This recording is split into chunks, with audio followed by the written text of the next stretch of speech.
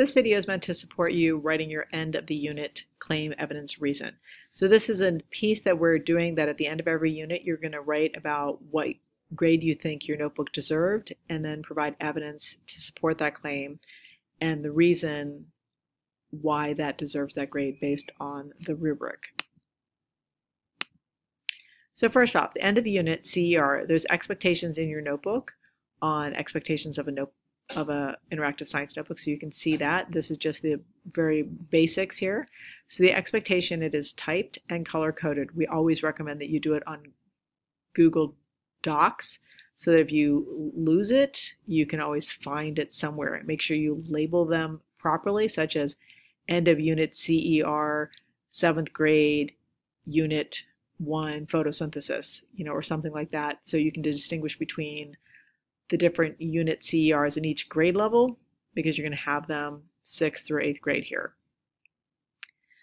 Also, they're going to be color coded. Once again, claim is in red. You're going to state the grade you believe you deserve based on the rubric on page one. You're going to provide evidence from specific pages in your notebook. You're going to identify the page and the name of the page, and you're going to back up your claim. And then you're going to look at the rubric and you're going to give a basically state why you met the criteria for that grade. So let's get started. So the first thing you want to do is you want to look over the Interactive Science Notebook rubric on page one. Here is a handy visual of the rubric that we're going to be providing you so that you can see that you're being, um, you know, you have a, a, depth of understanding, not just that you're consistently just in one area. A lot of people just like, I use color, I use color, I use color, but it's like we want to also see interactivity, we want to see understanding, you know, neatness. So we want to see all of these pieces, not just arguing from one particular strand, such as color, color, color. So you're going to look through your notebook and you're going to find evidence um, from your interactive notebook to support your grade. So let's start about the claim. So you're going to make a claim on your grade. There's multiple ways you can say this, but your claim is pretty just straightforward. You're basically just saying your grade that you think the notebook deserves. And you're looking at the notebook as a whole, not just page by page and pick, oh, this page is an eight and this page is a nine. I want we want an overall grade for the notebook because you're going to just get one grade representing your notebook. So here's three ways to say the same claim. My notebook, my interactive science notebook for unit 2 thermal energy deserves a B. For unit 2 thermal energy the notebook should earn an 85%. I think my notebook is pretty darn good for unit 2 thermal energy. So these are all saying the same thing. Then we move into the evidence section. Look at your notebook and pick pages that reflect the quality of your work. We want you to pick pages that reflect the general quality. Sometimes you have a really great page and you're like, oh, I'm going to write about that. But if that really doesn't represent your overall work, you're not going to get an A, even though a particular page might be totally awesome. So think about what, what in general reflects the quality of your work. So what specific pages um, show that you are addressing understanding, interactivity, neatness, organization, and cross-cutting concepts.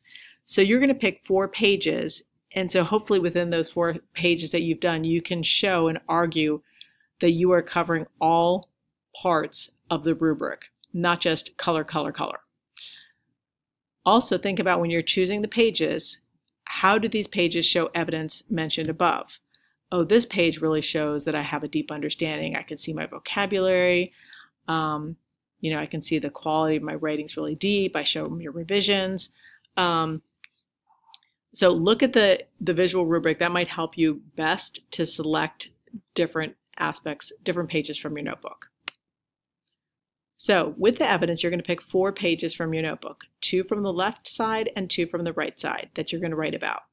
Make sure, as I said, you don't use the same argument over and over again. So look for evidence that show understanding, interactivity, color, neatness, as well as a cross-cutting concept. If you are kind of looking for a C to a B range, B being 85%, um, you can write about three of those four pages. If you're looking more for a solid B and you want to make sure you're there to an A plus, you're going to write about all four pages. So for example, here might be an example of an evidence, um, one piece of evidence. So you might do this where you're like, here's evidence number one. For the balloon freeze model on page 30, so you're clearly stating the page and the page number, I showed my understanding of the content by creating a model that used several modeling tools, such as zoom-ins, to show how the energy changed in the molecules. You can see that this student also used vocabulary here. I also used color in a meaningful way by adding a key to show how the energy affected the shape of the balloon. I also interacted with the text by asking a question. So I can see down here, I wonder why, and the person even tried to answer their question. When you get to the reason section, you're going to use words directly from the rubric on page one or from the visual rubric to explain why what you did earns the grade that you are arguing for.